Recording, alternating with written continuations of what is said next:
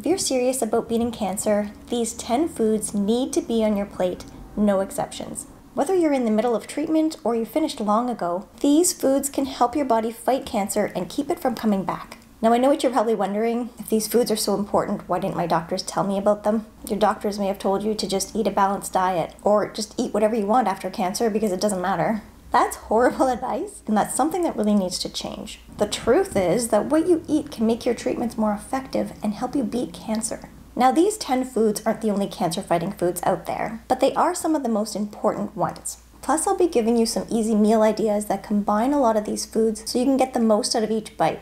Starting with my all time favorite, avocados. They're loaded with important nutrients you need after cancer, like omega 3s, magnesium, potassium, and antioxidants. These antioxidants can stop the growth of precancerous and cancerous cells because, fun fact, we all have precancerous cells in our body right now. But as long as they don't grow, there's nothing to worry about. The reason I love avocados is because I'm obsessed with guacamole. But did you know that guacamole has five cancer fighting ingredients in it? Avocados, tomatoes, garlic, onion, and lime. And you can even throw in some cancer fighting herbs like cilantro or parsley on top of that. So don't be afraid to pile guac onto your eggs, salads, honestly, anything.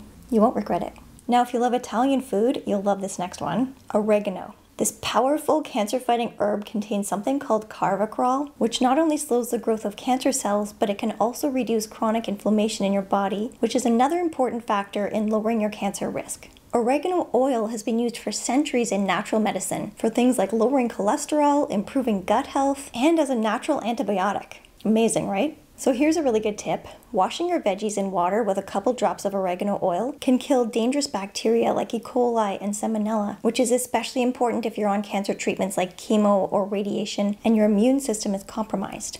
I always try to add as much dried or fresh oregano as possible when I'm making tomato sauce. And speaking of tomatoes, this is another top cancer fighting food because they're extremely high in something called lycopene. This is a very powerful antioxidant proven to prevent cancer, especially prostate cancer. And if you don't like eating tomatoes raw, don't worry. Your body actually absorbs more lycopene from cooked tomatoes. So think of ways you can add more tomato sauces, soups, or even roasted tomatoes to your meals. You can also get lycopene from fruits like watermelon, apricots, pink grapefruit, and papaya. But here's something important to know. Your body will absorb more lycopene from these foods when you eat them with a healthy fat, so like avocados, nuts, or olive oil. Another reason to add tomatoes to your guacamole. Now, it's no secret that treatments like chemo or radiation can make you deficient in some really important nutrients like calcium, iron, magnesium, and B vitamins. So that's why I created a cancer nutrition guide that is full of recipes to help you fix these deficiencies. So click on the link below this video to check it out if you're interested. The next cancer fighting foods for your grocery list are berries and pomegranates. It's no surprise that these are called superfoods because they have more antioxidants than any other fruit. Honestly, they're like cancer fighting powerhouses. So if you're not eating a handful of berries or pomegranates every day, you're missing out. And if you find fresh berries too expensive, you can pick up a bag of frozen berries, especially the family sized ones at Costco, and they're usually a better value. According to the American Cancer Society, we should be eating two and a half to three cups of vegetables a day and one and a half to two cups of fruit a day. If you're thinking that's a lot, you're right, it is. And most people don't eat nearly that many. But I've got you covered in this video because some foods have a lot more cancer fighting properties than others. So if you focus on these 10, you'll be a step ahead. Okay, next up on our list is salmon. Salmon is one of the best sources of omega 3 fatty acids that will reduce inflammation, lower your blood pressure, support your heart health, and fight cancer. And getting your omega 3s from eating foods like salmon, nuts, or seeds is way more effective than taking an omega 3 supplement. Salmon is also a great source of B vitamins that repair DNA mutations, which can lead to cancer. There are plenty of fish in the sea, but salmon will provide you with the most nutrients and health benefits than the rest. I aim to eat salmon once or twice a week for cancer prevention, and so should you. So next time you're out for dinner, swap out that burger for a nice salmon fillet, and your body will thank you.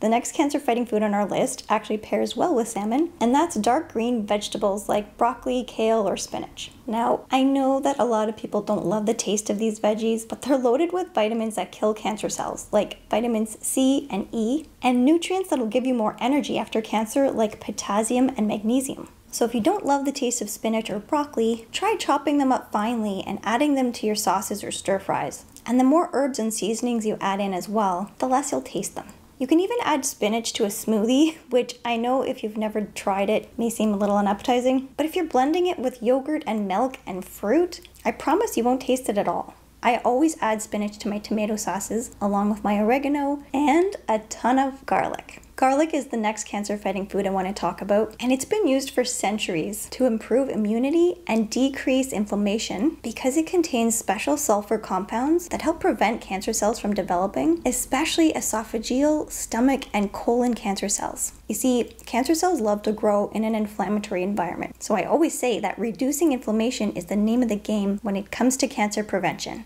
But if you're wondering what I mean by systemic inflammation, I have another video for you to watch next called The Secret to Fighting Cancer. Some of the best cancer fighting foods for lowering inflammation are nuts and seeds, especially walnuts and flax seeds. To be honest, I don't know about you, but I don't love the taste of walnuts. They're not as tasty as, say, almonds or pecans. But walnuts are so good at reducing inflammation that they're recommended for people with inflammatory illnesses like rheumatoid arthritis or irritable bowel syndrome. And flax seeds are not only just as good at reducing inflammation, they're also a great source of fiber. Just one tablespoon of ground flax seeds has two grams of soluble fiber that will help to regulate your blood sugar levels and prevent constipation, which, let's be honest, is a side effect from chemo that nobody wants to deal with.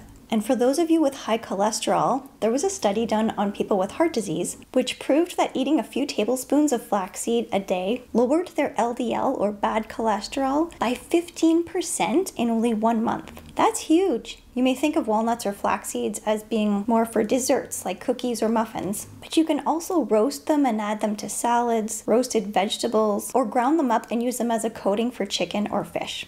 So I've already gone over eight of the 10 top cancer fighting foods, but number nine is arguably the most powerful spice for fighting cancer, and that is turmeric. There is now evidence that turmeric can help your body fight off cancer cells in at least eight different ways. Just to name a few, it can help slow the growth of cancer cells, make them more sensitive to treatments like chemo or radiation, and help to keep them from spreading to other parts of the body. Now, I know that some cancer survivors take turmeric supplements, but they can actually be dangerous if you have certain health conditions, so please run it by your doctor first. My favorite way to eat turmeric is in a turmeric latte, which I showed you how to make in my video titled 5 Antioxidant Drinks to Help You Fight Cancer. But you can also start adding turmeric to your sauces or soups or curries, and it's so good for you that you might as well start today. The last cancer fighting food on our list is plain old Greek yogurt. Did you know that Greek yogurt can help with the brain fog, also known as chemo brain, that makes you lethargic and forgetful? This is because it's such a good source of probiotics, the good bacteria that you need for a healthy gut and a strong immune system. On top of that, Greek yogurt is a great source of calcium, magnesium, and phosphorus, which are all extremely important nutrients for your bones. As we age, we naturally lose bone density, especially as women after menopause. And then cancer treatments, especially chemo and hormone therapy, can also do a number on your bone density. So if you're not already taking a calcium supplement, ask your doctor if you should be, or make sure you're eating enough foods that contain these three vitamins to prevent further bone loss. Your body's been through a lot with cancer, so make sure you're giving it all of the nutrients it needs throughout treatment and well beyond. So if you want to learn about all of the important nutrients that will help your body beat cancer, click on the link below this video. I'm also leaving you with another important video to watch on how to keep your immune system in top shape. Thanks for watching and subscribing, and I'll see you next time.